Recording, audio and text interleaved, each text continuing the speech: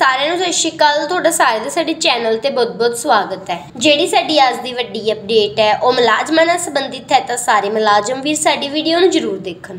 ਹਾਂਜੀ, ਮੁਲਾਜ਼ਮਾਂ ਲਈ ਇਸ ਵਕਤ ਦੀ ਇੱਕ ਵੱਡੀ ਅਪਡੇਟ ਸਾਹਮਣੇ ਆ ਰਹੀ ਹੈ। ਜਲਦ ਹੀ ਮਾਨ ਸਰਕਾਰ ਹੁਣ ਮੁਲਾਜ਼ਮਾਂ ਨੂੰ ਦੀਵਾਲੀ ਦਾ ਬੰਪਰ ਤੋਹਫਾ ਦੇਣ ਜਾ ਰਹੀ ਹੈ। ਮੁਲਾਜ਼ਮਾਂ ਦੀ ਇਸ ਅਹਿਮ ਮੰਗ ਤੇ ਮਾਨ ਸਰਕਾਰ ਨੇ ਲਗਾਈ ਪੱਕੀ ਮੋਹਰ। ਕੇਂਦਰੀ ਸਰਕਾਰ ਤੋਂ ਬਾਅਦ ਹੁਣ ਮਾਨ ਸਰਕਾਰ ਵੀ ਮੁਲਾਜ਼ਮਾਂ ਦਾ ਜਿਹੜਾ ਡੀਏ ਹੈ, ਉਸ ਵਿੱਚ 6% ਦਾ ਭਾਰੀ ਵਾਧਾ ਕਰਨ ਜਾ ਰਹੀ ਹੈ। ਇਸ ਦੇ ਬਾਰੇ ਪੂਰੀ ਜਾਣਕਾਰੀ ਤੁਹਾਨੂੰ ਦਵਾਂਗੇ। ਇਸ ਵੀਡੀਓ ਦੇ ਵਿੱਚ ਇਸ ਦੇ ਲਈ ਸਾਡੇ ਨਾਲ ਬਨੇ ਰਹੀਓ। ਵੀਡੀਓ ਨੂੰ ਐਂਡ ਤੱਕ ਜ਼ਰੂਰ ਦੇਖਿਓ। ਉਸ ਤੋਂ ਪਹਿਲਾਂ ਜੇ ਤੁਸੀਂ ਸਾਡੇ ਚੈਨਲ ਤੇ ਨਵੇਂ ਹੋ, ਤਾਂ ਸਾਡੇ ਚੈਨਲ ਨੂੰ ਸਬਸਕ੍ਰਾਈਬ ਜ਼ਰੂਰ ਕਰਿਓ, ਤਾਂ ਜੋ ਆਉਣ ਵਾਲੀ ਹਰ ਜ਼ਰੂਰੀ ਅਪਡੇਟ ਤੁਹਾਨੂੰ ਸਮੇਂ ਸਿਰ ਮਿਲ ਸਕੇ। ਤਾਂ ਬਿਨਾਂ ਦੇਰੀ ਕੀਤੇ ਸ਼ੁਰੂ ਕਰਦੇ ਹਾਂ ਸਾਡੀ ਅੱਜ ਦੀ ਵੱਡੀ ਅਪਡੇਟ ਨਾਲ। ਹਾਂਜੀ, ਹੁਣ ਪੰਜਾਬ ਦੀ ਮਾਨ ਸਰਕਾਰ ਮੁਲਾਜ਼ਮਾਂ ਦੇ ਡੀਏ ਵਿੱਚ 6% ਦਾ ਭਾਰੀ ਵਾਧਾ ਕਰਕੇ ਮੁਲਾਜ਼ਮਾਂ ਨੂੰ ਦੀਵਾਲੀ ਦਾ ਬੰਪਰ ਤੋਹਫਾ ਦੇਣ ਜਾ ਰਹੀ ਹੈ। ਦੱਸ ਦਈਏ ਕਿ ਹਾਲੇ ਤੱਕ ਇਸ ਦਾ ਕੋਈ ਨੋਟੀਫਿਕੇਸ਼ਨ ਹੈ ਜਿਹੜਾ ਉਹ ਜਾਰੀ ਨਹੀਂ ਹੋਇਆ। ਪਰ ਸੂਤਰਾਂ ਤੋਂ ਪਤਾ ਲੱਗਿਆ ਹੈ ਕਿ ਆਉਣ ਵਾਲੇ ਕੁਝ ਦਿਨਾਂ ਵਿੱਚ ਹੀ ਮੁੱਖ ਮੰਤਰੀ ਭਗਵੰਤ ਮਾਨ ਜੀ ਇਸ ਦਾ ਐਲਾਨ ਖੁਦ ਕਰਨਗੇ ਅਤੇ ਮੁਲਾਜ਼ਮਾਂ ਨੂੰ ਦੀਵਾਲੀ ਦਾ ਤੋਹਫਾ ਦੇਣਗੇ। ਇਸ ਦੇ ਨਾਲ ਨਾਲ ਤੁਹਾਨੂੰ ਦੱਸ ਦਈਏ ਕਿ ਜਲਦ ਹੀ ਮਾਨ ਸਰਕਾਰ ਮੁਲਾਜ਼ਮਾਂ ਦੀਆਂ ਮੰਗਾਂ ਨੂੰ ਦੇਖਦੇ ਹੋਏ ਪੁਰਾਣੀ ਪੈਨਸ਼ਨ ਦੀ ਮੰਗ ਨੂੰ ਵੀ ਪੂਰਾ ਕਰੇਗੀ ਅਤੇ ਇਸ ਦਾ ਐਲਾਨ ਵੀ ਖੁਦ ਮੁੱਖ ਮੰਤਰੀ ਸਾਹਿਬ ਵੱਲੋਂ ਕੀਤਾ ਜਾਏਗਾ। ਹਾਂਜੀ, ਇਹ ਸੀ ਸਾਡੀ ਅੱਜ ਦੀ ਵੱਡੀ ਅਪਡੇਟ ਜੇ ਤੁਹਾਨੂੰ ਇਹ ਅਪਡੇਟ ਵਧੀਆ ਲੱਗੀ ਹੋਵੇ ਵੀਡੀਓ ਨੂੰ ਲਾਈਕ ਤੇ ਸ਼ੇਅਰ ਜ਼ਰੂਰ ਕਰਿਓ। ਮੁਲਾਜ਼ਮਾਂ ਨਾਲ ਸੰਬੰਧੀ ਇਸ ਤਰ੍ਹਾਂ ਦੀ ਹੋਰ ਅਪਡੇਟਸ ਦੇਖਣ ਲਈ ਸਾਡੇ ਚੈਨਲ ਨੂੰ